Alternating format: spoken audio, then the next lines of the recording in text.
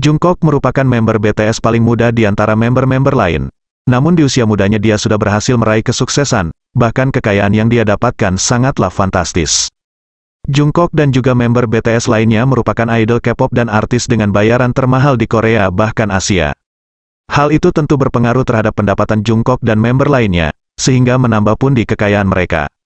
Hubungan Jungkook dan member BTS lainnya bukan lagi soal rekan kerja, mereka bertuju sudah seperti keluarga. Tak jarang mereka saling berbagi, salah satunya dengan cara membayar semua makanan atau traktir. Hal itu pernah dilakukan Jungkook yang membayar semua makanan member BTS yang harganya terbilang mahal, mencapai belasan juta untuk satu kali makan saja.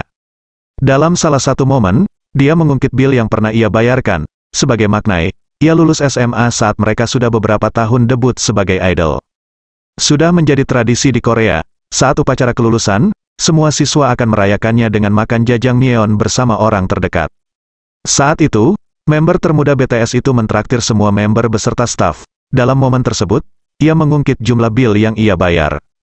Aku baru saja lulus SMA, setelah kelulusan biasanya kan makan jajangmyeon, menurut kalian berapa billnya, ujar Jungkook. Jajangmyeon bukanlah makanan yang terbilang mewah, sehingga pembawa acara mengira bahwa bill yang dibayar Jungkook hanya sekitar 30 ribu won atau sekitar 400 ribu rupiah. Bill yang dibayar member BTS kelahiran tanggal 1 September tahun 1997 itu adalah 910 ribu won atau sekitar 11,8 juta rupiah. Billnya 910 ribu won, sekitar 11,8 juta rupiah, sambung Jungkook. Seorang yang baru saja lulus SMA mengeluarkan uang belasan juta rupiah untuk traktir satu kali makan, menjadi momen yang selalu ia ingat.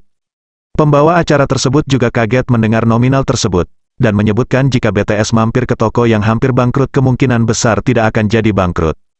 BTS kalau ke resto yang sudah mau bangkrut, kayaknya restonya bangkit lagi deh, ujar pembawa acara.